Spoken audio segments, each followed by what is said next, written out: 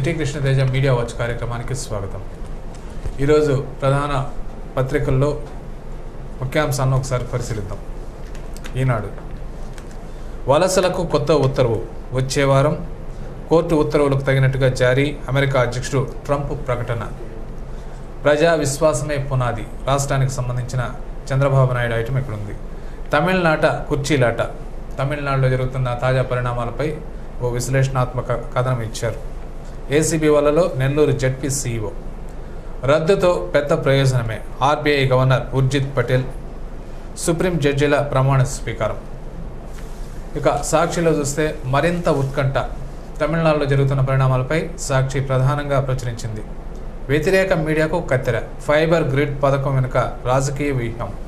TDP నేతల cable సంస్థలకు ఏజెన్సీలను కట్టబెడుతున్న ప్రభుత్వం ఇతర కేబుల్ ఆపరేటర్ల వైర్లను తొలగించాలని ఆదేశాలు. పోలీసుల సహకారం కూడా తీసుకోవాలంటూ సూచన వ్యతిరేకంగా వార్తలను ప్రసారం చేసే ఛానళ్ళ నిలిపివేత. తద్వారా మీడియాను గుప్పిట్లో పెట్టుకోవాలని ఎత్తుగడ. ఇక టీటీడీకి ఐటీ సహకారం. టాటా చైర్మన్ చంద్రశేఖర్. టీడీపీ శాశ్వతంగా అధికారంలో ఉండాలి. పార్టీ నేతలతో చంద్రబాబు మీడియాలో వచ్చే సెన్సేషనల్ న్యూస్కు అడ్డుకట్ట వేయాలి. పలువురు పదవులు ఎవరికి ఇవ్వాలనేది నా ఇష్టం. మంత్రులు ఎమ్మెల్యేలు పార్టీపై దృష్టి పెట్టాలని ఆయన ఆదేశించినట్టు సాక్షిలో ప్రచురించారు. ఇక ఆంధ్రజ్యోతిలో పరిశీలిస్తే ఈగోలు వీడండి. విభేదాలకు స్వస్తి చెప్పండి. జనంలో తిరిగితేనే జయం. ఎన్నికలు వస్తే నూట ఇరవై ఐదు సీట్లు మనవే. ఐటీ కేర్ ఆఫ్ అమరావతి అంటూ చంద్రబాబు పేర్కొన్న అంశాలను ఆంధ్రజ్యోతి పత్రికలో ప్రధానంగా ప్రచురించారు. ఇక తమిళనాడులో నేడు అటో ఇటో అంటూ ఓ కథనాన్ని ప్రచురించారు. ఆన్లైన్లోనే ఎంసెట్ పరీక్ష యథాతథం మార్పులు లేవు. క్యాలిక్యులేషన్ రఫ్ పేపర్లు స్క్రీన్ పైన గడియారం సబ్స్క్రిప్ట్ ఎన్నిసార్లైనా జవాబు మార్చుకోవచ్చు. ఆంధ్రజ్యోతి ఓ ప్రత్యేక కథనాన్ని ఇక్కడ ప్రచురించింది. ఇక దత్తపుత్రులు మనకెందుకు? మరో రాష్ట్రం వాళ్ళు అసలు అవసరం మరో రాష్ట్రం వాళ్ళు అసలు అవసరం లేదు. యూపీలో ప్రతి యువకుడు నాయకుడే ప్రధానిపై ప్రియాంక గాంధీ విమర్శనాస్త్రాలు. ఇక వార్త పత్రికను చూస్తే టీడీపీ వైపు ఎనభై శాతం ప్రజలు. శాశ్వతంగా అధికారంలో ఉన్నాం. కులం పేరుతో ఓట్లు రాయవు నాయకత్వాన్ని బట్టే ఓట్లు. మంత్రులు వేరే అంశాల్లో తలదూర్చవద్దు. టీడీపీ జాతీయ అధ్యక్షుడు ముఖ్యమంత్రి చంద్రబాబు నాయుడు. మరోవైపు అమరావతి అభివృద్ధికి అప్పులు ఇవ్వండి అంటూ వ్యతిరేక కథనాన్ని కూడా ఇక్కడ ప్రచురించారు. ఆర్థిక సంస్థలకు ప్రభుత్వం వేడుకోలు ఏడు వేల ఐదు వందల కోట్ల సమీకరణకు బాండ్లు జారీ ఐదు వేల కోట్ల ఖర్చుతో ప్రతి ప్రాజెక్టుకు టెండర్లు. సిఆర్డీఏ పరిధిలో రెండు వందల యాభై చదరపు కిలోమీటర్ల ఇన్నర్ రోడ్డు నిర్మాణము. ఐఐటి ఐఐఎం బిజినెస్ స్కూల్ విద్యార్థులకు భాగస్వామ్యం ఇంటర్న్షిప్గా చేర్చుకోవడానికి కొత్త పాలసీ ముప్పై మూడు మో ముప్పై మూడు జోన్లతో సివరేజీ బోర్డు ఏర్పాటు. పళనిస్వామి భవితకు నేడే పరీక్ష. ఇది ప్రధాన వార్తాపత్రికలు చూస్తే ప్రధాన అంశాలు ఈ వార్తా అంశాలపై చర్చించడానికి తెలుగుదేశం పార్టీ నుండి రాజారెడ్డి వచ్చేశారు. అలాగే వైఎస్ఆర్ కాంగ్రెస్ పార్టీ నుండి జీవన్ యాదవ్ మన స్టూడియోకి వచ్చేశారు. చర్చా కార్యక్రమాన్ని ప్రారంభిద్దాం. వలసలపై కొత్త ఉత్తర్వు వచ్చే వారం కోర్టు ఉత్తర్వులకు తగినట్లుగా జారీ. అమెరికా అధ్యక్షుడు ట్రంప్ ప్రకటన. ట్రంప్ అధ్యక్ష పదవి చేపట్టినప్పటి నుంచి వివాదాస్పద ప్రకటనలు చేస్తూనే ఉన్నారు. ఆ దేశంలో ఆయనకు మద్దతుదారులు ఉన్నారు.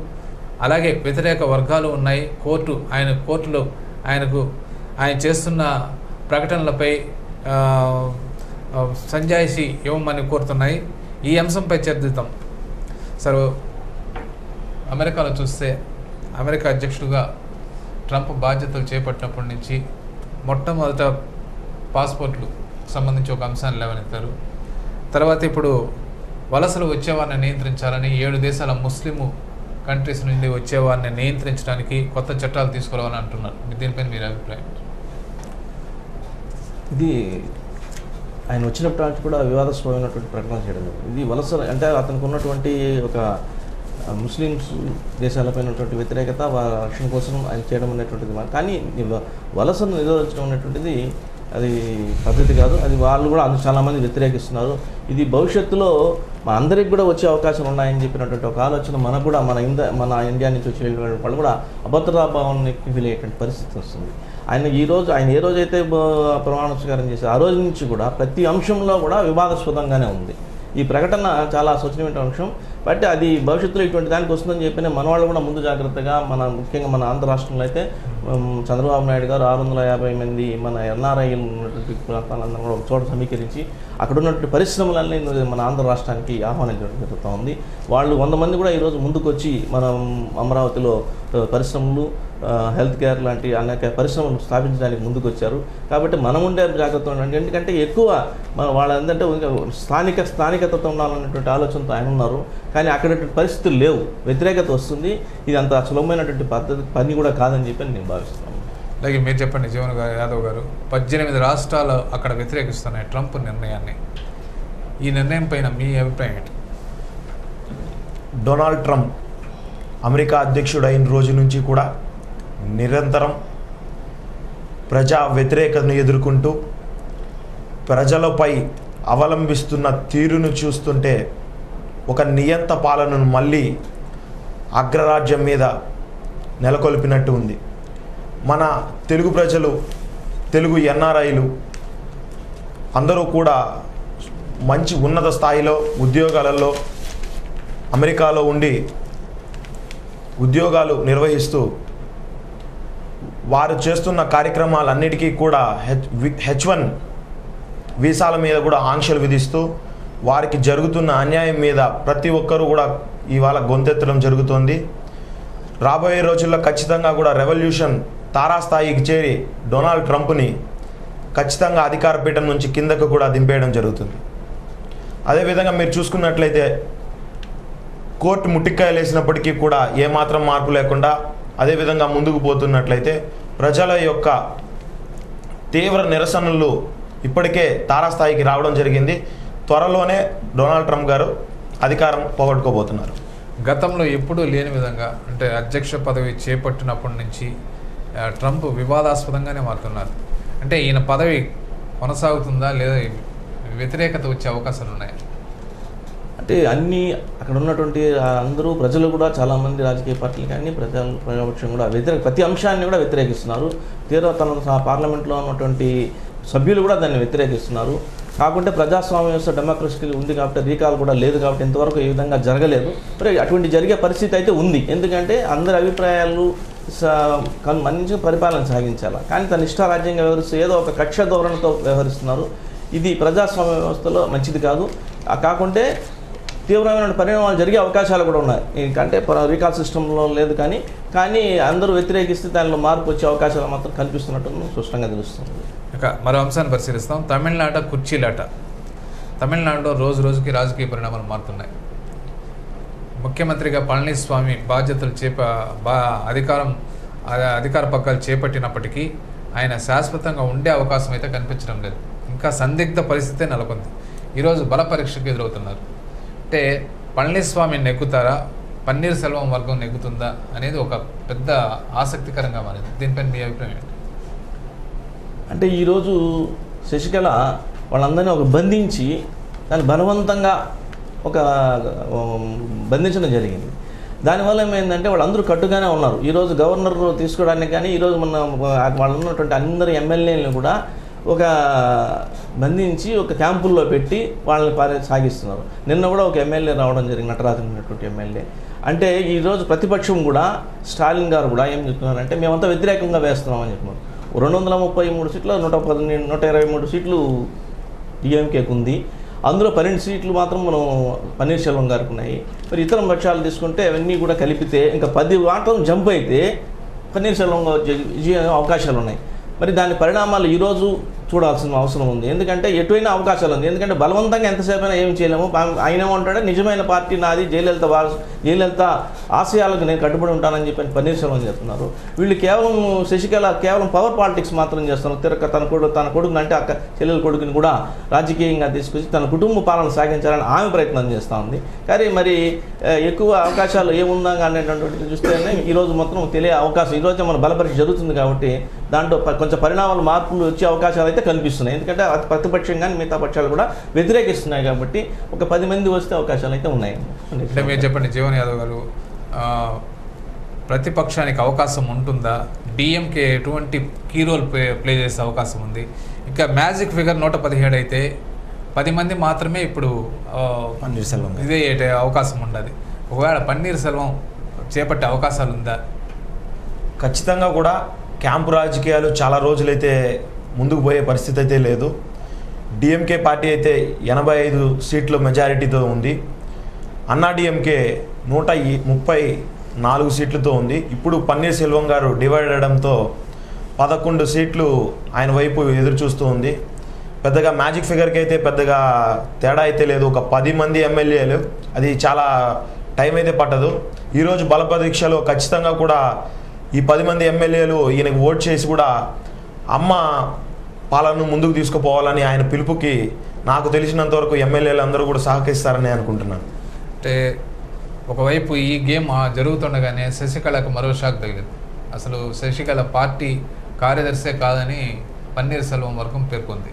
దీనిపైన ఎన్నికల సంఘానికి కూడా ఫిర్యాదు చేసింది. ఎన్నికల సంఘం కూడా ఒక వివరణ కోరింది. దీనిపైన మీరు మీ అభిప్రాయం ఏంటి? అంటే ఈమె పార్టీలో యాక్టివ్గా అంటే జయలలిత సన్నిహితులుగానే కనిపించింది. కానీ పార్టీలో ఆ రోజు కానీ ఆమెతో ఉన్నటువంటి ముప్పై ఏళ్ళ అనుబంధంలో ఏ రోజు కూడా పార్టీ విషయాల్లో ఆమె ప్రత్యక్షంగా పాల్గొన్నటువంటి సందర్భాలు లేవు. పార్టీ పదవులు కానీ లేదా ఎమ్మెల్యే కానీ తను తీసుకెళ్ళి కాబట్టి వ్యతిరేకత వచ్చే అవకాశం అయితే ఉందని భావిస్తున్నాను. అంటే కోర్టుకు పోకుండా నేరుగా ఈ గేమ్లో పన్నీర్ సెల్వం ఆడుతున్న గేమ్లో పళనిస్వామి చిక్కున్నాడు. నిన్న ప్రమాణ స్వీకారం చేసిన తర్వాత యాక్చువల్గా నేరుగా శశికళ దగ్గరికి వెళ్ళి కృతజ్ఞతలు చెప్పాల్సిన పరిస్థితి. కానీ మరో జా మారుతున్న పరిణామాలు చూస్తే పళనిస్వామికి దిక్కుతోచిన పరిస్థితి ఏర్పడింది. దీనిపైన కేంద్ర ప్రభుత్వం ఏదైనా జోక్యం చేసుకునే అవకాశం ఉందా? అంటే ఇప్పుడు అంటే ఆయనకే ఆయనకే అభద్రత భావం అనిపించింది. ఎందుకంటే ఎప్పుడు ఏమాత్రం సమయం ఇచ్చినా జంప్ అయ్యే పరిస్థితి. ఈరోజు క్యాంపులో జంప్ అయ్యే అవకాశాలు. అంటే బలవంతంగా వాళ్ళు ఆ క్యాంపు నడిపి నిర్వహిస్తున్నారనేది స్పష్టంగా తెలుస్తుంది.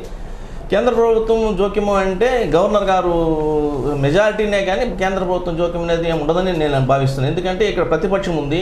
అన్నాడీఎంకే డిఎంకే వాళ్ళు ఇది అన్నాడీఎంకే వాళ్ళు. తర్వాత కాంగ్రెస్ కూడా ఉన్నారు.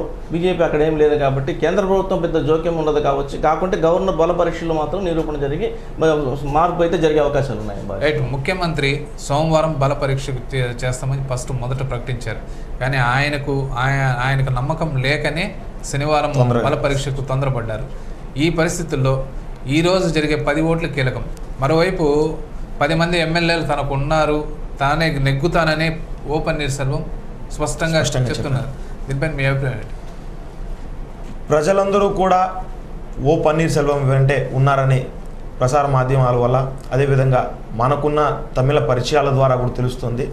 అదేవిధంగా మీరు చూసుకున్నట్లయితే శశికళ గారి మీద ఉన్న ప్రజా వ్యతిరేకత ఖచ్చితంగా కూడా ఈ బలపరీక్ష మీద పడుతుంది. ఆమె జైలు జీవితం నాలుగు సంవత్సరాలు నాలుగున్నర సంవత్సరం పూర్తి అవు అయ్యేటప్పటికీ పార్టీ మాత్రం ఏమాత్రం కూడా మిగిలే పరిస్థితి అయితే లేదు. ఇవన్నీ కూడా ప్రజలందరూ ఇవన్నీ కూడా ఏ ఎప్పుడైతే ఈ క్యాంప్ రాజకీయాల్లో ఉన్న వ్యక్తులు ఏ ఒక్కరికి తెలియనప్పటికీ కూడా మొన్న వచ్చిన రా మొన్న వచ్చిన ప్రమాణ స్వీకారానికి ఆ టైంలో తెలుసుకున్న వారి సన్నిహితుల ద్వారా వాళ్ళు తెలుసుకోవడం జరిగింది. వారి నియోజకవర్గాల్లో వాళ్ళ మీద వచ్చిన వ్యతిరేకతను వాళ్ళు ముందుగానే పసిగట్టి రేపు ఈరోజు జరగబోయే బలి పరీక్షలో ఖచ్చితంగా కూడా వాళ్ళ టోటల్ మెజారిటీ పన్నీర్సెల్వం గారికి ఇచ్చి పార్టీ మొత్తం కూడా తన వెంట ఉంది.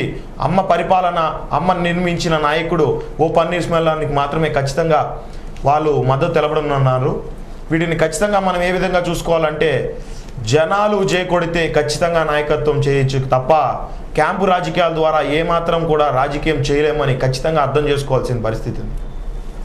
రైట్ ఇక మరో అంశాన్ని పరిశీలిస్తే ప్రజా విశ్వాసమే పునాది అంటూ రాష్ట్రంలో చంద్రబాబు నాయుడు తెలుగుదేశం పార్టీ నేతలతో ఎంపీలతో ఎమ్మెల్యేలతో అందరితో నిన్నటి రోజు రివ్యూ జరిపారు. ఈ అంశంపై ఈగోలు వీడండి. ఐటీ కేర్ ఆఫ్ అమరావతి విభేదాలకు స్పష్టి చెప్పండి. జనంలో తిరిగితేనే జయం. మరింత టీడీపీ శాశ్వతంగా అధికారంలో ఉండాలి అని చెప్పి పేర్కొన్నారు. ఈ అంశంపైన పరిశీలిస్తే తెలుగుదేశం పార్టీ నేతల్లోనే విభేదాలు ఉన్నాయని సాక్షాత్తు ముఖ్యమంత్రి చంద్రబాబు నాయుడే నేతలకు సూచించారు. ఈ విభేదాలను విడనాడుతారా? లేదా ఇదే విధంగా కొనసాగిస్తారా? రెండు వేల పంతొమ్మిదిలో అధికారం ఎలా చేజిక్కించుకుంటుంది.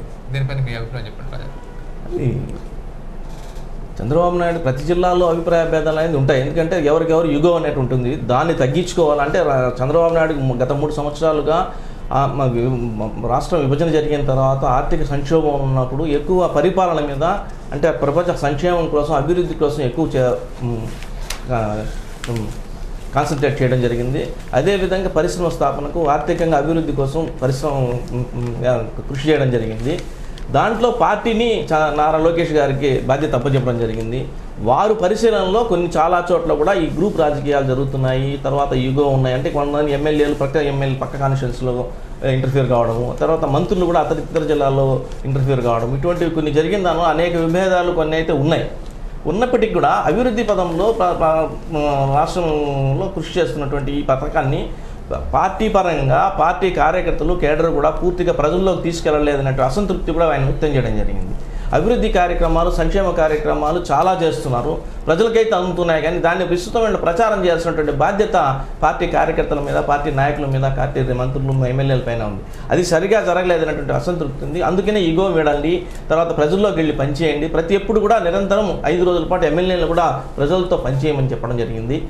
ఇది కానీ ఈ రెండు వేల పంతొమ్మిదిలో జరిగేటువంటి ఎన్నికల్లో ప్ర- ప్రత్యామ్నాయం ఆంధ్ర రాష్ట్రంలో లేదు. ఒక్క తెలుగుదేశం పార్టీ ఆయన చెప్పినట్టు నూట ఇరవై సీట్లు తప్పకుండా ఈ రాష్ట్రంలో విజయ పతాకం అవకాశం ఉంది. ఎందుకంటే ఆయన చేసేటువంటి సంక్షేమ కార్య నిరంతరం ఆయన చేసినటువంటి శ్రమ ప్రతి ఒక్కరు గుర్తిస్తున్నారు. ఆయన అటు పారిశ్రామికంగా కానీ అటు నదులను అనుసంధానం చేయడంలో అయితేనేమి పరిపాలనలో అయితేనేమి అనేక రకాలుగా అమరావతిలో వాళ్ళకి కావాల్సిన సెక్రటేరియట్ కానీ పార్ల అసెంబ్లీ ఏర్పాటు చేయడం అయితే వారికి కావాల్సిన వసతులు కావాలనేది అదేవిధంగా పేద ప్రజానికానికి ఇండ్లు ఏర్పాటు చేయడంలో కానీ అనేక విధాల అభివృద్ధి కార్యక్రమాలు పెన్షన్ కార్యక్రమాలు అయితేనేమి ప్రధానంగా ఈ బీమా చంద్రన బీమా పథకాన్ని ప్రజల్లోకి తీసుకోవడంలో విఫలమైందని కూడా ఆయన ఆ అసంతృప్తి అక్కడ ఎందుకంటే అది చాలా సులభమైన పదహైదు రూపాయలతో ఐదు యాక్సిడెంట్ జరిగితే ఐదు లక్షల రూపాయలు ప- వచ్చే అవకాశం ఉన్నటువంటి బీమా పథకాన్ని కూడా ప్రజల్లోకి తీసుకెళ్ళలేకపోయారు. మీరందరూ కూడా అది కృషి చేస్తే తప్పనించి మనం ముందుకెళ్ళలేము. ముందుకెళ్ళాలంటే అభివృద్ధి ప్రజలకు తెలియజేయాలి తెలియజేయాల్సిన బాధ్యత కార్యకర్తలకు ఉంది కాబట్టి అవన్నీ కూడా ఒకసారి వాళ్ళకి గుర్తు చేయడం జరిగింది. ఇది తప్పకుండా రెండు వేల పంతొమ్మిదిలో తెలుగుదేశం పార్టీ విజయ పతాకం వేస్తుంది ఆయన చెప్పినట్టు నూట ఇరవై సీట్లు తప్పకుండా వచ్చే అవకాశం ఉంది. మరి ఎందుకంటే ప్రతిపక్షాల బాధ్యత నిర్వహించడం లేదు. ఏమాత్రము దాని కేవలం ఒక ప్రత్యేక హోదా తప్ప నుంచి వేరే పరిస్థితి లేదు కాబట్టి వీరు చేసే అభివృద్ధి కార్యక్రమాలు ప్రజలు చూస్తున్నారు. ప్రజలు తప్పకుండా విజయం రెండు వేల పంతొమ్మిదిలో విజయం సాధించే అవకాశాలు ఉన్నాయి. అంటే వైఎస్ఆర్ కాంగ్రెస్ పార్టీ ప్రతిపక్ష పార్టీ ప్రతిపక్ష పాత్ర పోషించలేదంటారా? పోషించే ఏం లేదు. కనీసం ఒక సంక్షేమ కార్యక్రమాల గురించి అభివృద్ధి కార్యక్రమాలు ఏమాటి సూచనలు లేవు? కేవలం ప్రత్యేక హోదా రాజా రాజారెడ్డి గారు ఖచ్చితంగా కూడా ప్రత్యేక హోదాతో అన్నీ వస్తాయని ఈ రోజు కాదు మేము చెప్పింది కాదు. సాక్షాత్తు మీరు ఇప్పుడు అంటున్న ఈ రాష్ట్ర ముఖ్యమంత్రి నారా చంద్రబాబు నాయుడు గారు రెండు వేల పద్నాలుగు ఎలక్షన్స్లో మన వెంకన్న సాక్షిగా చెప్పింది వాస్తవం కాదా? పది సం ఐదు సంవత్సరాలు కాదు పది సంవత్సరాలు కాదు పదహైదు సంవత్సరాలు అంటూ ఆంధ్ర ప్రజలను మోసం చేసింది నిజం కాదా? మీరు ఏ విధంగా మాట్లాడుతున్నారు? నాకు అర్థం కాక అడుగుతాను. ప్రత్యేక హోదాతో ప్రత్యేక హోదాతో దాదాపు ఐదు లక్షల ఉద్యోగాలు ఐదు లక్షల ఉద్యోగాలు భావ భారత పౌరులుగా తీర్చిదిద్దుతామని చెప్పిన నరేంద్ర మోడీ గారు ఒక పక్క అబద్ధం చెప్తుంటే దానికి సంఘీభావంగా టీడీపీ మాట్లాడుతున్న వైనం మీద మా నాయకుడు వైఎస్ జగన్మోహన్ రెడ్డి గారి సారథ్యంలో ప్రజల యొక్క వాణిని వేడిని ఢిల్లీ వరకు తీసుకువెళ్ళిన నాయకుడు మా జగన్మోహన్ రెడ్డి గారు. ప్రతిపక్షాలు ఏ విధంగా చేయాలో మీరు చెప్పాల్సిన అవసరం మాకు ఖచ్చితంగా లేనే లేదు. ప్రతిపక్షాలకు సరైన నిర్వచనం చెప్పాం. రాబోయే రోజుల్లో రెండు వేల పంతొమ్మిదిలో రెండు వేల పంతొమ్మిదిలో కేవలం మా సూచనలు మీరు కనీసం వినే పరిస్థితుల్లో కూడా లేరు. ఇప్పుడు కూడా ఇప్పుడు కూడా వినే చెప్తున్నారు. ప్యాకేజీలు మీ జోబులు నింపుకోవడానికి టీడీపీ జోబులు నింపుకోవడానికి తప్ప ఇంకొకటి అయితే కాదు. ప్యాకేజీలు ప్యాకేజీల వల్ల ఏమొస్తుంది? మీరు చంద్రన్న కానుక రంజాన్ తోఫా వీటి వీటి వల్ల అవినీతికి తప్ప మరొకటి అయితే కాదు. ఒక సిస్టమ్ ఏర్పాటు అంటే అవుతుంది. స్వయం వృద్ధి సాధించాలనే ఉద్దేశంతో అనేక దేశాల్లో పరిశ్రమలు ఆహ్వానించు అభివృద్ధి కార్యక్రమాలు. మీరు ఆహ్వానిస్తున్నారు. మీరు ఆహ్వానిస్తున్నారు. ఎవరు రావడం లేదు. మీరు ఆహ్వానిస్తున్నారు. మంచిదే. ఎవరు. రావడం లేదు. ఆంధ్రప్రదేశ్కి ఎవరు రావడం లేదు. మీరు పిలుస్తున్నారు. ఆహ్వానాలు బాగానే ఉన్నాయి. కోటాను కోట్లతో స్పెషల్ ఫ్లైట్లతో తన మంత్రి సిబ్బందులతో మొత్తాన్ని కూడా అన్ని దేశాలు విదేశీ పర్యటనలు బాగానే చేస్తున్నారు. మేము కాదనే చెప్పట్లేదు. విదేశీ పర్యటనలు మాత్రమే అయ్యింది ఆహ్వానాలకు మాత్రమే మిగిలిపోయింది. తెలుగుదేశం పార్టీ కానీ తెలుగుదేశం ప్రభుత్వం కానీ ఈ రోజుటి వరకు ఏ పెద్ద కంపెనీ ఇంతవరకు వచ్చిందైతే లేదు. ఏ ప్రభుత్వం రాలేదు. అమరావతిని మేము అది చేస్తాం ఇది చేస్తామని చెప్తున్నారే తప్ప ఇంతవరకైతే జరగలేదు. మొన్న జరిగిన బ్రిటన్లో అయితే మీరు చూసినట్లయితే మీరు ఇంతవరకు సాధించిన దాన్ని మాకు పంపేయండి. మా దేశ ప్రజలకు మేము చూ- చాటి చెప్తాము అని చెప్తే మేము ఇంకా చేయబోతామని చెప్తే వాళ్ళు వెంటనే చెప్పారు. మీరు చేసింది ఏంటి? అది పంపించండి మాకు అని చెప్తే వెంటనే సీఎం గారు పోవాల్సిన ప్రోగ్రామ్కి వెంటనే నారాయణ గారిని పంపించారు. మ్యాజిక్ మ్యాజిక్ చేయడానికి మాత్రం పాప మెజిషియన్ని వాడుతున్నారు. లేదంటే ఆయన అసలు ఆయన దిగుతున్నారు చంద్రబాబు నాయుడు గారికి ఖచ్చితంగా తెలియాలి ఈ రోజుకి కాదు రెండు వేల పంతొమ్మిది ఎలక్షన్లతో ప్రజలందరూ కూడా ఖచ్చితంగా బుద్ధి చెప్తారు. స్పెషల్ ప్యాకేజీ కేవలం తెలుగుదేశం ప్రభుత్వం మాత్రమే లబ్ధి చేకూరుతుంది తప్ప ఆంధ్ర ప్రజలకు తెలుగు ప్రజలకు ఏ మాత్రం లబ్ధి చేకూరదు. తమ వైపు ఎనభై శాతం ప్రజలు ఉన్నారు. వచ్చే ఎన్నికల్లో కూడా తామే గెలుపుతామని చంద్రబాబు నాయుడు నిన్న పేర్కొన్నారు. నూట ఇరవై ఐదు సీట్లు కాదు వాళ్ళకి. ఖచ్చితంగా ఇరవై ఐదు సీట్లు కూడా గెలవరు. ఇప్పుడు జరుగుతుంది ఈగోలు. ఈగోలు వస్తున్నాయి అంటే ఎవరి వల్ల వస్తున్నాయి తెలుసా? చినరాజా వారు. ఆయన గురించి చెప్పాలంటే దగ్గర దగ్గర శశికళతో పోల్చొచ్చు.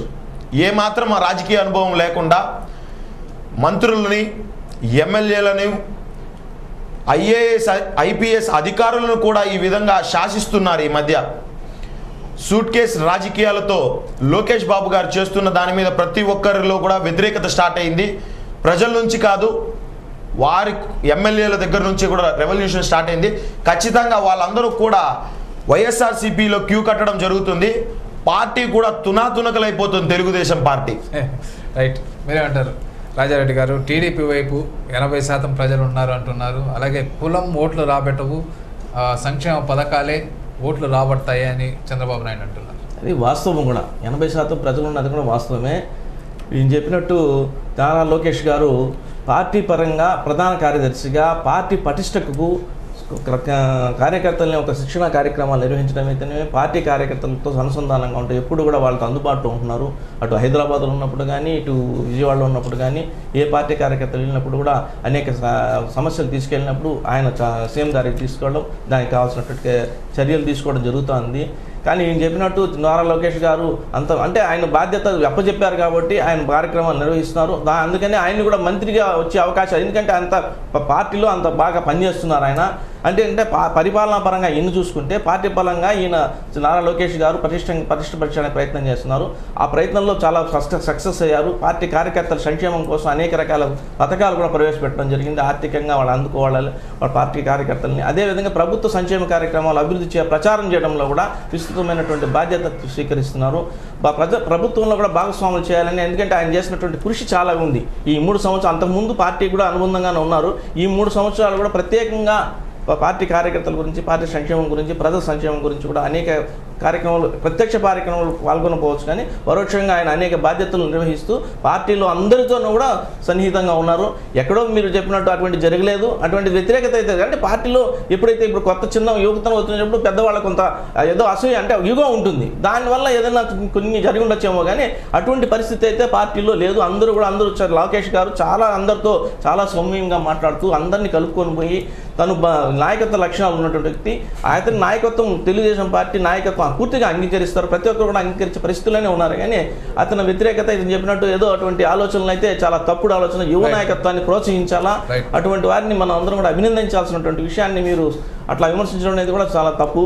శోచనీయమైన అంశంగా నేను భావిస్తాను రైట్ కుల రాజకీయాలు పనికిరావు. అన్ని కులాలని ఒకటేగా చూస్తాము. అభివృద్ధి సంక్షేమ పథకాలు నాయకత్వం వల్లే మా తెలుగుదేశం పార్టీ గెలుస్తుందని చంద్రబాబు నాయుడు పేర్కొన్నారు. దీనిపైన అసలు కుల రాజకీయాలు ఉందా లేదా? ఈ రాష్ట్రంలో అందరికీ సమాన న్యాయం జరుగుతుందా? ఉంటే కొన్ని కొన్ని కులాలు మాకు పోరా న్యాయం జరగడం లేదని పోరాటం వస్తున్నాయి. దీనిపైన మీరేమంటారు? కుల రాజకీయాలను ఫస్ట్ నుంచి కూడా పెంచి పోషించిన వ్యక్తి నారా చంద్రబాబు నాయుడు గారు. ఈ విషయంలో అయితే నాతో అయితే ఏకీభవించారు రాజారెడ్డి గారు కూడా.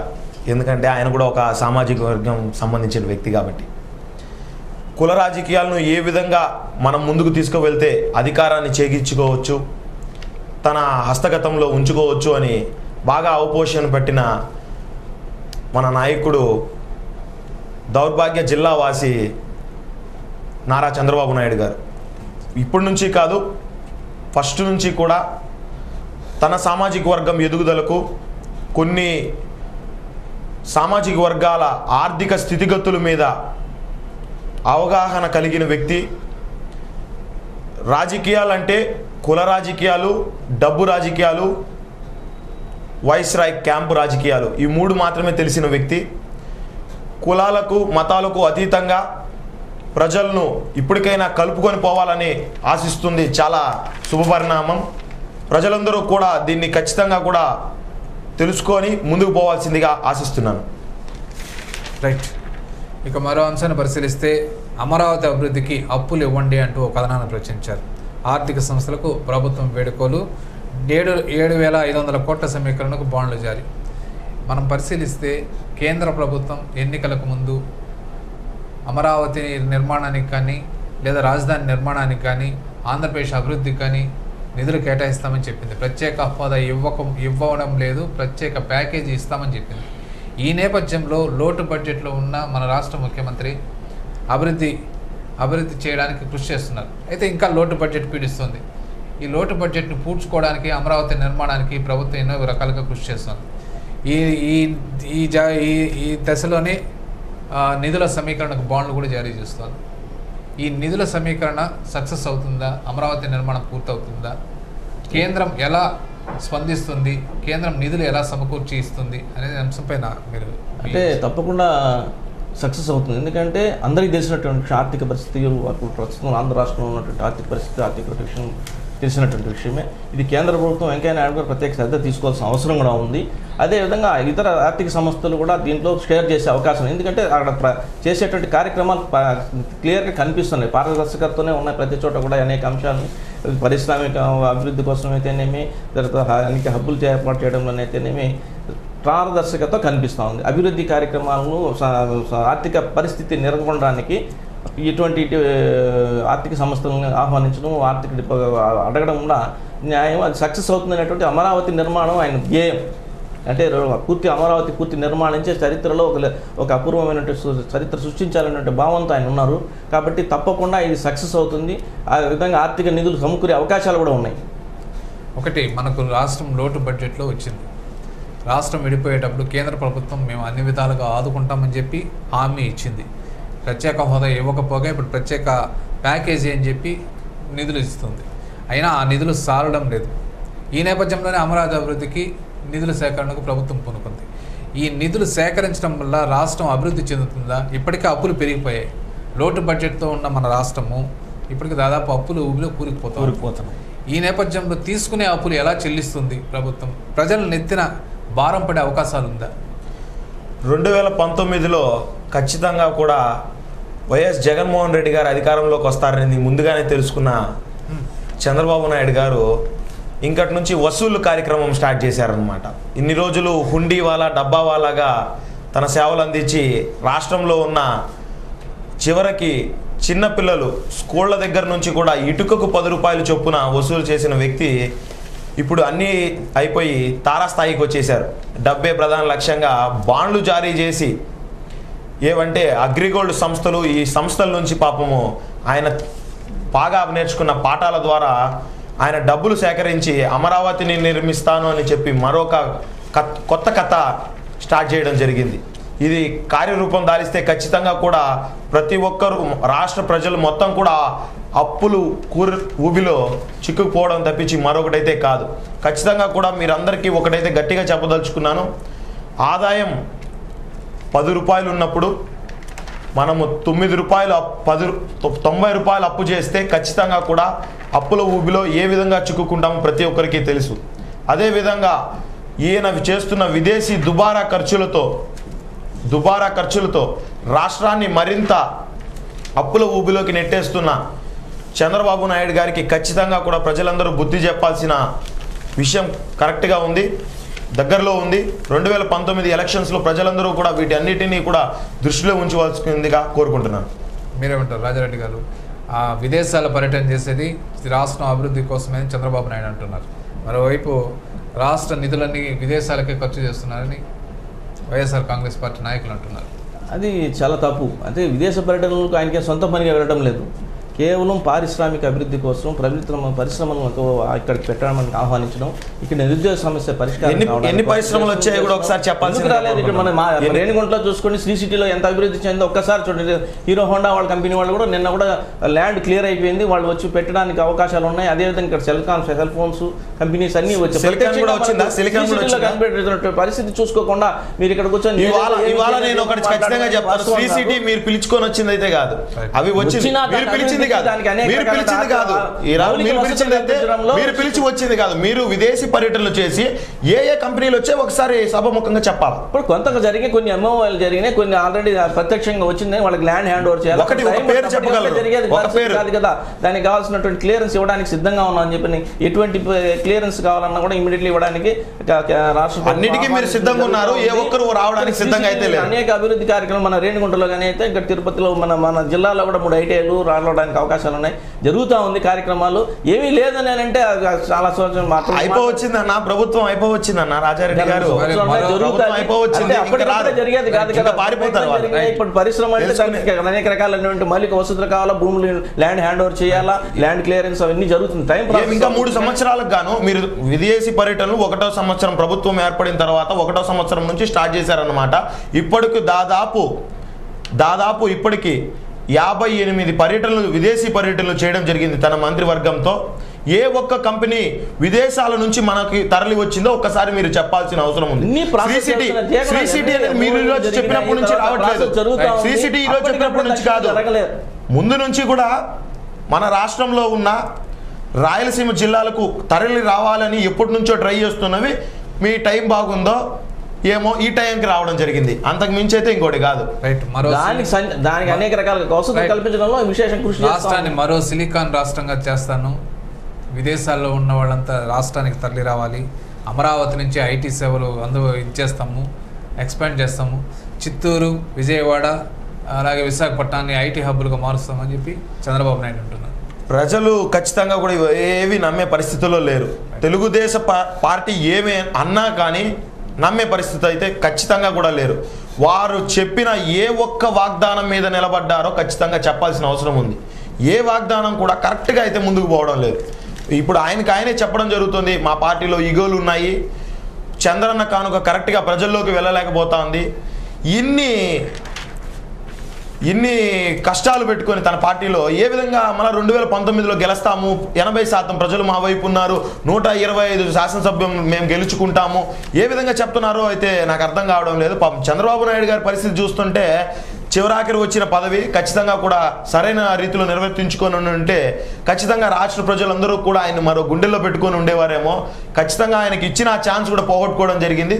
ఖచ్చిత ఖచ్చితంగా కూడా తెలుగుదేశం పార్టీ రెండు వేల పంతొమ్మిదిలో పతనం ముందుకు రావడం జరుగుతుంది. ఖచ్చితంగా కూడా ఎమ్మెల్యేలు కొనుగోలును ఇప్పటి నుంచి కాదు అప్పుడు మహానాయకుడు ఎన్టీఆర్ ఉన్నప్పటి నుంచి కూడా చేస్తున్న ఈ చంద్రబాబు నాయుడు గారికి ప్రజలు ఖచ్చితంగా బుద్ధి చెప్పారు. ఆ తర్వాత అదేవిధంగా ఈ ఇప్పుడు మొన్న జరిగిన వైఎస్ఆర్సీపీ నుంచి ఇరవై మంది ఎమ్మెల్యేలను కొనుగోలు చేసి అడ్డగోలు వ్యవహారాన్ని కుర్చీలాటను ఖచ్చితంగా ప్రజలు సహించే పరిస్థితుల్లో లేరు. అదేవిధంగా మాట మారుస్తూ ఓ ఊసర వెళ్ళిలా వ్యవహరిస్తున్న చంద్రబాబు నాయుడిని ఖచ్చితంగా ప్రజలు తెలుగు యువత ఖచ్చితంగా కూడా తిరగబడతారు. ఖచ్చితంగా రెండు వేల పంతొమ్మిదిలో వైఎస్ జగన్మోహన్ రెడ్డి గారికి అధికారం పట్ట పట్టం కట్టడం ఉంది రాజారెడ్డి గారు రెండు వేల యాభై వరకు మేమే అధికారంలో ఉంటామని చంద్రబాబు నాయుడు అంటున్నారు. రెండు వేల పంతొమ్మిది ఎన్నికల్లో కూడా నూట ఇరవై ఐదు సీట్లు మావే అంటున్నారు. మరోవైపు వై వైఎస్ జగన్మోహన్ రెడ్డి అధికారంలో వచ్చి వచ్చేది ఖాయమని చెప్పి వైఎస్ఆర్ కాంగ్రెస్ పార్టీ నాయకులు అంటున్నారు. మీరేమంటారు వాళ్ళు ఆత్మవిమర్శ చేసుకోవాల్సిన అవసరం ఉంది. రైట్ ఎందుకంటే ప్రజలు ఏ పక్క ఉన్నా అంటే ప్రజల సంక్షేమం నేను చెప్పింది ఏంటంటే చంద్ర ప్రజల సంక్షేమ కార్యక్రమాలు ప్రజలకు అందుతున్నాయి. ప్రజలు తెలుగుదేశం పార్టీ తరపున ఉన్నారు. దాన్ని మరింత విస్తృత ప్రచారం చేసి మిగతా తెలియని వాళ్ళకి తెలియజేయాల్సిన బాధ్యత పార్టీకి ఉందని చెప్పడం జరిగింది. అందుకని ఆ యుగో నిలువెళ్ళి ప్రజల్లోకి వెళ్ళి పనిచేయమని చెప్పారు. ఈరోజు ఐటీ తీసుకురారా వస్తారా అనేటువంటిది మనం ప్రత్యక్షంగా చూసాం హైదరాబాదు ఐటీ ఇన్ఫర్మేషన్ టెక్నాలజీ కానీ సాఫ్ట్వేర్ కానీ పెరగడానికి కారణం ప్రధానము చంద్రబాబు నాయుడు గారు. వారు చేసినటువంటి కార్యక్రమాలు ఈరోజు ఆంధ్ర ఆంధ్ర తెలంగాణ అభివృద్ధిలో ఫస్ట్లో ఉంది. ఎందుకంటే అక్కడ చేసినటువంటి ఈ ఐటీ ఫౌండేషన్ హైటెక్ సిటీ ఏర్పాటు చేయడము అదే టెక్నాలజీని ఇక్కడ చేస్తానని చెప్తే నమ్మరు అని అంటే ఇంతకంటే సూచన అటువంటి మాట్లాడడం అనేది కూడా తప్పు అనేటువంటి మా నేను భావిస్తాను. అభివృద్ధి కార్యక్రమాల్లో కఠినమైనటువంటి నిర్ణయాలు తీసుకోవడంలో కానీ అభివృద్ధి కార్యక్రమాలు సంచం నిర్వహించడంలో చంద్రబాబు నాయుడు గారికి అంటే ఆంధ్ర రాష్ట్రంలో అతనికంటే గొప్పగా చేసినటువంటి వ్యక్తులు ఎవరు లేరనేది స్పష్టంగా అయ్యో అయ్యో ఈ మాట అయితే ఖచ్చితంగా కానే కాదు. ఇవాళ మీరు రాష్ట్రం, ఆంధ్ర తీసుకువచ్చిన రాష్ట్రంలో సంయుక్త రాష్ట్రం ఉన్నప్పుడు సమైక్య రాష్ట్రంగా ఉన్నప్పుడు జరిగినటువంటి అభివృద్ధి కార్యక్రమాలు చూస్తే ప్రతి ఒక్కరికి తెలుసు. ఆయన చేయలేనటువంటిది అది చాలా శోచనీయమైన ఇట్లా మాట్లాడడం అనేది కూడా భావం కాదు. ఎందుకంటే ప్రత్యేక ప్రజలు చూస్తున్నారు. చేయడం అనేటువంటి జగన్ గారు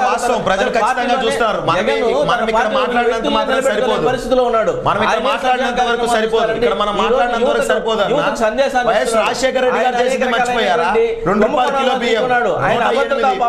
ఇక్కడ ఆయనే కేంద్ర ప్రభుత్వాన్ని ఏమాత్రం విమర్శించడం లేదు ఇక్కడ కూర్చొని ఆంధ్ర రాష్ట్రంలో కూర్చొని నేను చేస్తున్నాను ఢిల్లీలో- ఢిల్లీలో చేశారు. ప్రత్యేక. ఉద్యమం, ప్రత్యేక హోదా ఉద్యమాన్ని ఢిల్లీ- దర్బార్ దగ్గర జరిగింది. ఇంతకు ముందు వచ్చినటువంటి సీట్లు కూడా జగన్ పార్టీకి వచ్చే అవకాశాలు లేవు లేదు మీరు కొనుక్కునేస్తుంటే పార్టీలలో ఏ విధంగా ఉంటుంది. శాసనసభ్యులు మనకు కొండం నిజమా కాదా ఇరవై మంది ఎమ్మెల్యేలు ఏ విధంగా వచ్చారు మీరు తెలంగాణలో మీ ఎమ్మెల్యే ఎమ్మెల్యేలు వెళ్ళిపోతే మాత్రం అభివృద్ధి కోసం కాదు కేవలం డబ్బుల కోసం ఓ పందుల్లాగా ఓ గొర్రెల మా- మందలాగా వెళ్ళిపోతారని ఆ ట్విట్టర్ పిట్ట నారా లోకేష్ గారు అంటారు.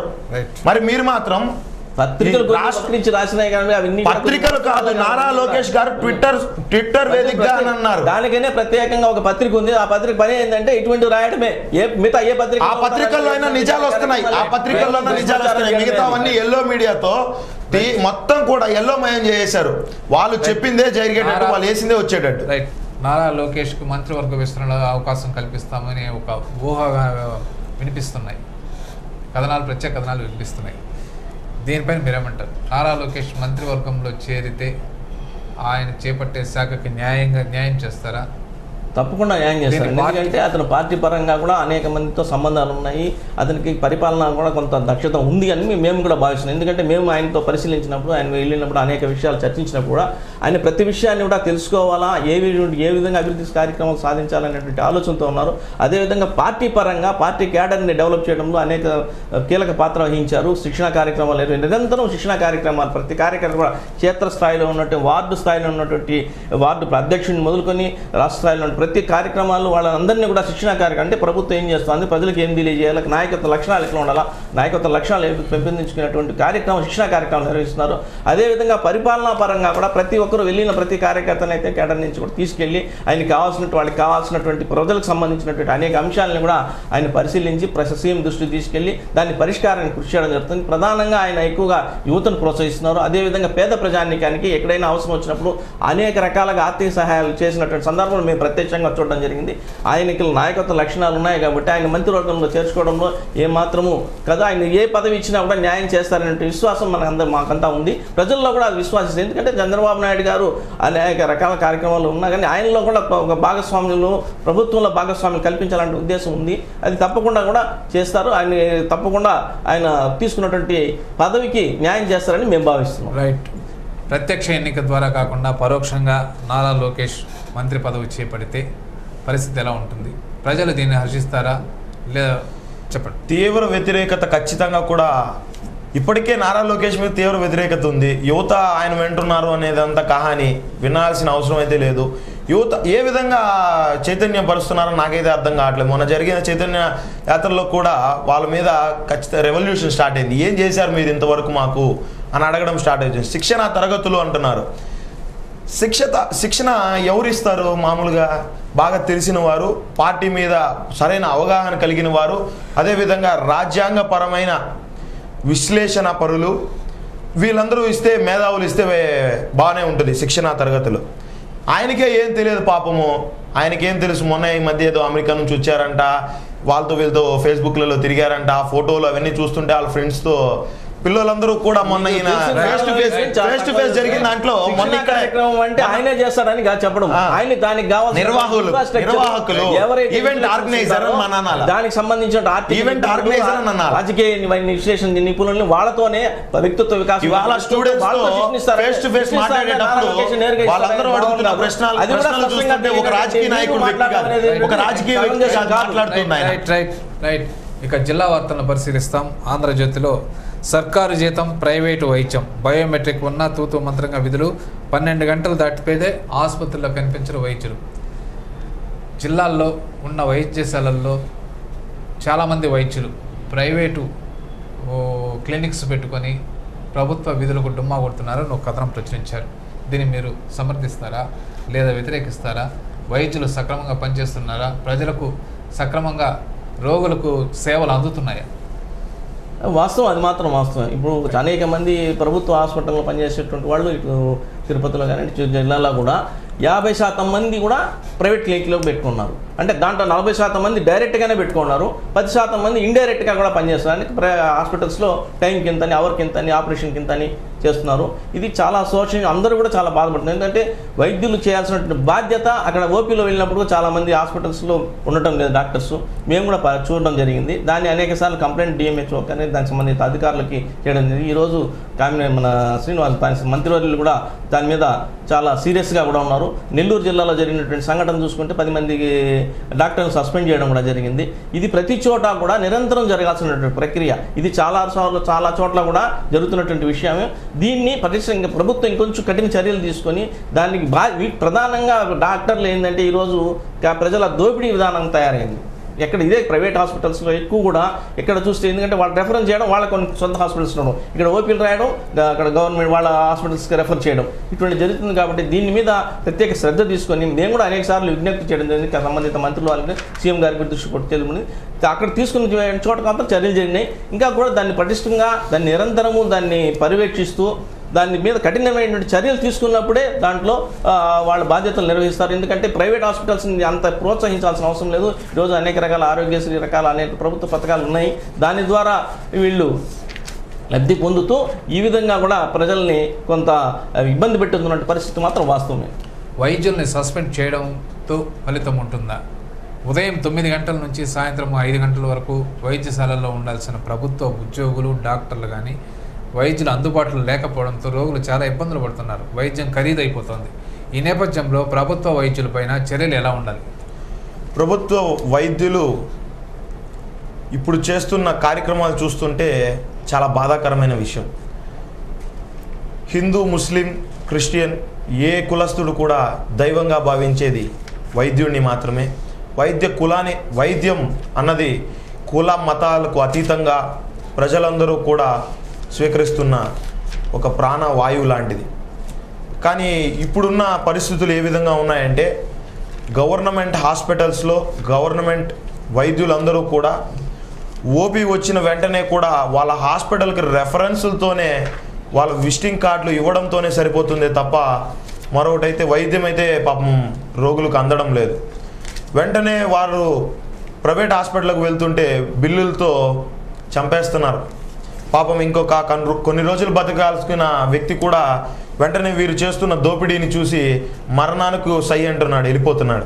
ఖచ్చితంగా కూడా వీళ్ళ మీద సస్పెన్షన్ మాత్రమే కాదు ఆ వైద్యులు అన్న సర్టిఫికేట్ను ఖచ్చితంగా కూడా డిస్క్వాలిఫై చేయాలి. వాళ్ళని ఖచ్చితంగా కూడా వైద్య వృత్తికి దూరం చేయాల్సిన అవసరం ఉంది. అప్పుడైతే అప్పుడైతే మాత్రమే వాళ్ళు కొంచెమైనా వైద్య వృత్తి మీద భయం భక్తి ఉంటుంది. ఖచ్చితంగా కూడా వైద్యుడు అన్నవాడు దేవుడిగా భావిస్తున్న ప్రతి ఒక్కరికి కూడా పేదవాడికి కూడా వైద్యం నీట్గా కరెక్ట్గా అందాలని కోరుకుంటూ అదేవిధంగా వైద్యులు అందరికీ కూడా చిన్న విన్నపం. ప్రాణం అన్నది చాలా ఖరీదైన వస్తువు. దాన్ని ఖచ్చితంగా కూడా ప్రైవేటీకరణ చేసి డబ్బులుగా కూడా ఆలోచించకుండా వైద్యులు ఖచ్చితంగా కూడా ఒక దైవ సమానులుగా భావించే వ్యక్తులుగా ఉండాల్సిందిగా కోరుకుంటున్నాం. జిల్లాలో గుర్తింపు ఉన్న హాస్పిటల్స్ కానీ గుర్తింపు లేని హాస్పిటల్స్ కానీ చాలా ఉన్నాయి. అన్ని వివరాలు జిల్లా వైద్య శాఖకు తెలిసినా కూడా ఎలాంటి చర్యలు తీసుకోవడం లేదు. దీనిపైన మీరేమంటారు దాని మీద ఇటీవల కూడా దాని మీద చాలా చాలా కమిటీలు వేయడం జరిగింది. కొన్ని జరుగుతున్నాయి. అని మీరు చెప్పినట్టు కొన్ని సా- అనుమతి లేనటువంటి ఉన్నాయి. లైసెన్స్ తీసుకోకుండా ఉన్నాయి. ఈ రెండు వేల ఏడులో రోసే గారు ఉన్నప్పుడు అనేక రకాలైనటువంటి నిబంధనలతో కొన్ని ప్రత్యేక నిబంధనలతో రూపొందించడం జరిగింది. అది చాలా వరకు కొన్ని చోట్ల అంటే అన్ని క్లినిక్స్ లేవు. Ninety nine ninety percent ten percent మాత్రమే లేనటువంటి మాత్రం మేము చూడడం జరిగింది. ఎందుకంటే ఆ కమిటీలో ఒకసారి నేను కూడా ఉండడం జరిగింది. దాంట్లో చూసినప్పుడు కొన్ని పర్మిషన్ లేకుండా రన్ చేయడం జరుగుతూ ఉన్నది. దీన్ని కనీసం కొంచెం కఠినతరం చేయాలా? అదేవిధంగా ప్రభుత్వ ప్ర- ఈ ప్రైవేట్ హాస్పిటల్స్ నిర్వహించే వాళ్ళు కూడా కొంచెం బాధ్యత వ్యవహరించాల్సిన అవసరం ఉంది. సామాజిక బాధ్యత చేయాల్సినట్టు సేవాభావం ఉంది అది చేయడం లేదు. అదేవిధంగా ప్రతి హాస్పిటల్స్లో కూడా వాళ్ళు ధరలు నిర్ణయం నియమించే ధరలు బోర్డు పెట్టమని చెప్తారు. అంటే కన్సల్టేషన్ ఫీజు ఎంత ఈ బ్లడ్ టెస్ట్ యూరిన్ టెస్ట్ ఎక్స్రేకి ఎంత రేట్ అనేది మీరు ఎంతైనా నిర్ణయించారు కానీ బోర్డు డిసిప్లే పెట్టమని చెప్తున్నారు. అటువంటిది ఏ ఏ హాస్పిటల్లో కూడా జరగలేదు. దీని మీద కొంచెం నియంత్రణ తర్వాత మానిటరింగ్ చేయాల్సిన బాధ్యత అయితే జిల్లా అధికారులకు ఉంది. దాన్ని సరిగ్గా నిర్వర్తించడం అనేది మాత్రం వాస్తవము. కానీ చాలా చో కొన్ని చోట్ల మాత్రం ఆ బోర్డ్స్ ఉన్నాయి. మిగతా వాటిలో కూడా దాన్ని పూర్తిగా అమలు అయ్యేందుకు కఠినమైన చర్యలు తీసుకోవాల్సిన అవసరం బాధ్యత జిల్లా అధికారులకు ఉంది. అంటే మంత్రులు పర్యటన జరిపినప్పుడు ఆగ్రహం వెలిబుచ్చడం లేదా సస్పెండ్ చేయడం జరుగుతుంది. కానీ శాఖాపరంగా ఎటువంటి ఇది లేదు అనేది ప్రజల్లో నెలకొంది. మరోవైపు ప్రభుత్వ వైద్యశాలల్ని ప్రైవేటు పరం అంటే ప్రైవేట్ వాళ్ళకి అప్పగిస్తూ బా నిర్వహణ బాధ్యతని ఇప్పుడు చిత్తూరు ప్రభుత్వ ఆసుపత్రిని తీసుకుంటే అపోలో ఆసుపత్రికి వాళ్ళకి చేస్తారు. దీనివల్ల ప్రజలకు మెరుగైన వైద్యం చేస్తున్నామనేసి ప్రభుత్వం చెప్తోంది. మరోవైపు వైద్యులు మాత్రం ప్రైవేట్ క్లినిక్లు పెట్టుకొని లక్షలకు లక్షలు గడిస్తున్నారు. ప్రజలకు ఎలాంటి వైద్యం అందుతుంది ఈ నేపథ్యంలో? ప్రైవేటీకరణ వల్ల ప్రభుత్వ రంగ సంస్థలు ఎప్పటికీ కూడా పతనానికే దారితీస్తుంది. ప్రజలకు ఖచ్చితంగా కూడా సరైన వైద్యం ఇవ్వదలుచుకుంటే వైద్యుడి మీద కఠిన చర్యలు తీసుకుంటాము అని ఒక జీవోను కూడా పాస్ చేయగలిగితే ఖచ్చితంగా కూడా వైద్యుడు ఒక పేషెంట్ మీద సరైన అవగాహనతో ముందుకు పోతారు. లేదంటే వాళ్ళ రెఫరెన్స్ కార్యక్రమాలను మాత్రమే ముందుకు తీసుకుపోవడం జరుగుతుంది. మీరు చూసినట్లయితే ఒకటి రెండు సార్లు మేము ఇప్పటికే చాలాసార్లు కూడా హెచ్చరించడం జరిగింది. రోయా హాస్పిటల్లో కూడా. డెంటల్ కానీ ఈఎన్టీ డిపార్ట్మెంట్లలో అయితే ఖచ్చితంగా కూడా ఇంకా కూడా మనకి కావాల్సిన సదుపాయాలు అవి కూడా ఖచ్చితంగా లేవు. వీరందరూ కూడా డెంటల్కి మాత్రం ఖచ్చితంగా డెంటల్కి ఈఎన్టీకి వీళ్ళందరికీ కూడా ఖచ్చితంగా డాక్టర్ని అయితే రిక్రూట్మెంట్ చేసుకుంటున్నారు. కానీ వాళ్ళందరికీ సరైన ఎక్విప్మెంట్ ఇవ్వడం ఇవ్వకపోవడంతో మీ దగ్గర మా దగ్గర ఇవన్నీ లేవు అనే సాకు చూపి వాళ్ళు రెఫరెన్సులతో వాళ్ళ హాస్పిటల్స్ ప్రైవేటీకరణకు దారి తీసుకుపోవడం జరుగుతుంది. ఖచ్చితంగా ప్రభుత్వం దీని మీద చర్యలు తీసుకోవాల్సిన అవసరం ఉంది. ఈసారి సస్పెండ్లు ఆగ్రహాలతో మాత్రమే కాకుండా మెమోలతో మాత్రమే కాకుండా వాళ్ళ వైద్య వృత్తికి ఏమాత్రం అర్హులు కాని విధంగా డిక్లేర్ చేయగలిగితే వాళ్ళు ఖచ్చితంగా కూడా ప్రజలందరి మీద ముఖ్యంగా పేషెంట్ల మీద ఖచ్చితంగా కూడా ఒక నిభద్రత భావంతో ముందుకు పోవడం జరుగుతుంది. ఖచ్చితంగా ఈ ఇంకటి నుంచి కూడా ఇప్పటికైనా త- మించిపోయింది ఏం లేదు. వైద్య రంగాన్ని గట్టి పరచ గట్టి కార్యక్రమాలతో ముందుకు తీసుకొని పోయి అదేవిధంగా కఠిన శిక్షలను అవలంబిస్తామన్న తీరుని ఖచ్చితంగా వైద్యుల మీద తీసుకుపోవాల్సిన అవసరం ఉంది. ఇంకా గట్టిగా చెప్పాలంటే వైద్య ప్రభుత్వ వైద్యులు ఏ ఒక్కరూ కూడా ప్రైవేట్ రంగ సంస్థల్లో పని చేయకూడదు ప్రైవేట్ క్లినిక్లు పెట్టుకోకూడదు అనే ఆదేశాలు వస్తే చాలా బ్రహ్మాండంగా ఉంటుంది. ఇక మరో అంశాన్ని పరిశీలిద్దాం. సాక్షి పత్రికలో కుంటి సాకులకు చెక్కు. న్యాయస్థానం జోక్యంతో దిగిరానున్న టీడీపీ సర్కార్. ఈ నెలాఖరు కల్లా డివిజన్ల కేటాయింపు ప్రక్రియ పూర్తి. ముమ్మరంగా స్మార్ట్ కులగణన సర్వేలు. మరో రెండు మూడు నెలల్లో కార్పొరేషన్ ఎన్నికలు తథ్యమంటూ ఒక కథనాన్ని ప్రచురించారు. రాజారెడ్డి గారు కులగణన జరగడం ఆలస్యం జరుగుతోంది అని ఇటీవల కొన్ని పార్టీలు అభ్యంతరం వ్యక్తం చేయడంతో ఈ కులగణని మరో నెల రోజుల పాటు పొడిగించారు ఈ నేపథ్యంలో కార్పొరేషన్ ఎన్నికలు ఎప్పుడెప్పుడు జరుగుతుందా అని నేతలు కాసుకొని కూర్చున్నారు. కార్పొరేషన్ ఎన్నికలు జరిగితే తమ సమస్యలు తీరుతాయని ప్రజలు కూడా భావిస్తున్నారు. మరోవైపు టీ ప్రభుత్వం కార్పొరేషన్ ఎన్నికలు నిర్వహించాలా వద్దా అనే మీమాంసలో కూడా ఉంది. దీనిపైన మీ అభిప్రాయం ఏంటి? త్వరలో ఎన్నికలు అయితే జరుగుతాయండి తప్పకుండా. ఎందుకంటే కొన్ని కుల ప్రాతిపదికమైన వార్డుల డివిజన్ జరగాలి కాబట్టి మళ్ళీ ఓటర్లు అవన్నీ పూర్తిగా నమోదు అయినాయి కానీ ఈ కుల ప్రాతిపదిక డివైడ్ చేయడంలో తేడాలు ఉన్నాయి కాబట్టి దాన్ని స్పష్టంగా దాన్ని ఏ వార్డులో ఏ వార్ కులానికి నిర్ణయించాలనేటువంటి పద్ధతిలో ఈ సర్వే జరుగుతోంది. అది అయిన వెంటనే ఎన్నికలు జరిగే అవకాశాలు అయితే ఉన్నాయి.